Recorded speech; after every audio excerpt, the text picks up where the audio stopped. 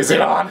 Hey boys, it's your boy Franco here, just in case you didn't know. I'm in hiding right now from Chin Chin. I'm in disguise. So guys, if you're new to the show, you know there's a huge Chin Chin sacrifice happening right now. And our Dark Lord Chin Chin, one of the most powerful deities in our universe, demands a sacrifice every year. I announced the submissions about two months ago and we've received thousands and thousands and thousands and thousands and thousands. And that's why the official presentation of the Chin Chin sacrifices have been taking so long, because it takes so long to look through each and every one of them individually because we want Chin Chin to enjoy uh, only the best sacrifices that we have to offer. And my friends, we've seen so many sacrifices and uh, they're getting out of hand, you know, I'm, I'm, not gonna, I'm not gonna be held responsible for anything that happens to you guys. These sacrifices are definitely the wildest sacrifices we've received in a very long time, but I just wanted to let you guys know that we've been working on it, we've been looking through the sacrifices, and uh, we're almost ready to present them to the Dark Lord.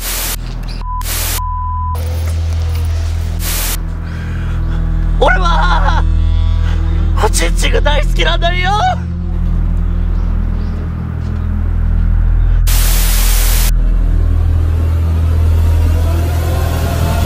It is up to Filthy Frank to save the day yet again. Other than that, actually, the next video that's coming out, it took a very long time to prepare. There are a lot of special effects involved, so uh, you'll get that within the next few days. Just wanted to, to have a little one-on-one time. So, you know, just one-on-one time to uh, let you know what's been going on with the sacrifices. New video in a couple days, you know. Other than that, I don't know. I don't really know what's new.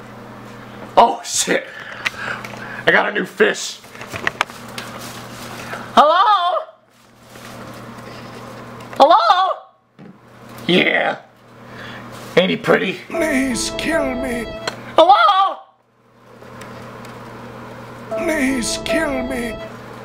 Yeah.